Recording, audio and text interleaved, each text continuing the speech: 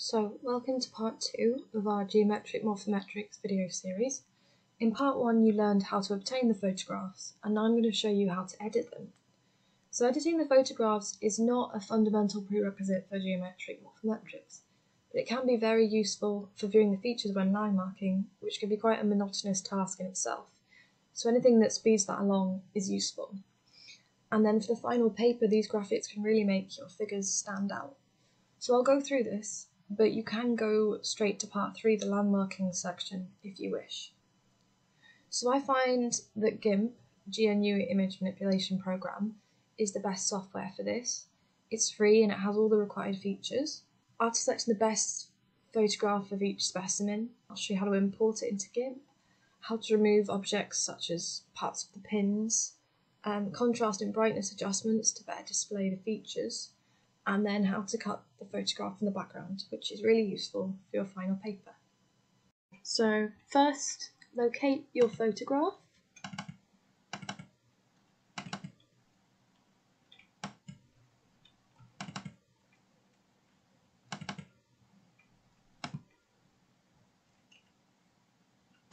Open with GIMP.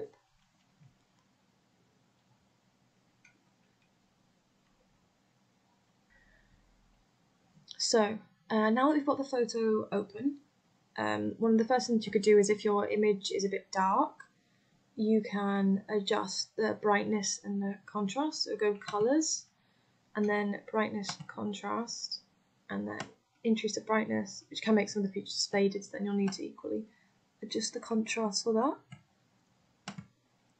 And then this image has quite a yellow tinge from the lamps that we used you can make a choice here. You can either carry it on with coloured image or you could desaturate it. So if you choose to have it coloured, the best thing to do is go colours and then colour balance and then we can sort of de-yellow that a bit, make it more purple to adjust for it, to make it a bit more natural.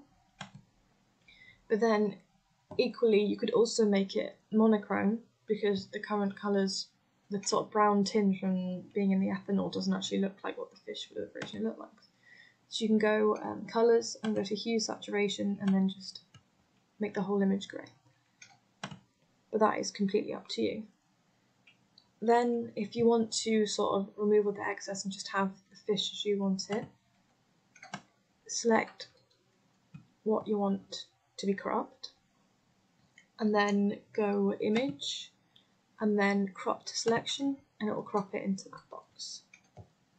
So this is all that you would really need for the geometric morphometrics. But if you want this photograph to be in your final paper, perhaps on a scatter graph where you're showing your um, results of your geometric morphometrics, then it would look quite nice to remove the background. So that's the next step. So you click on this lasso tool here, which is free select, zoom in, and then it's really your choice as to how detailed you want it, whether you want it to um, be absolutely perfect or a bit more rough. So you'll go around the entire fish. A note is if you make a mistake, like so, don't press escape because it will undo everything you've done, which will be really frustrating when you get to the end. Make sure you press backspace instead because you see you press escape. That's all undone now.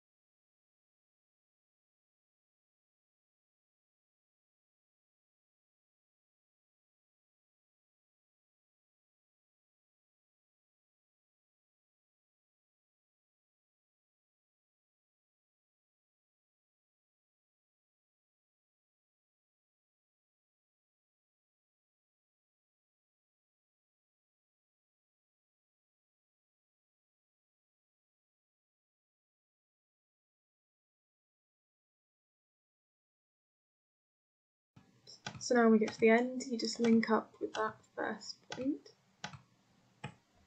And then you press this button here, the move tool.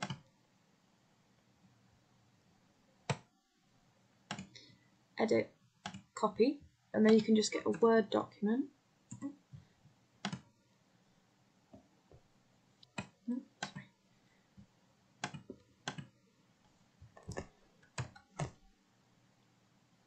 And then you can just paste that straight in. You can save as picture or do whatever you like with it. Um, the only other thing that you might possibly want to do is if you have, say, perhaps something there that you don't actually want, quite often you can have a black speck, um, such as these little tiny things here, then you can use the clone tool to remove them. So you click on the clone tool, which is there, and then you hold control to select what you want to cover it with and then you just cover it with that. Can look quite messy, but as long as it looks better than what was actually there, then it's fine. And that's all you really need to do.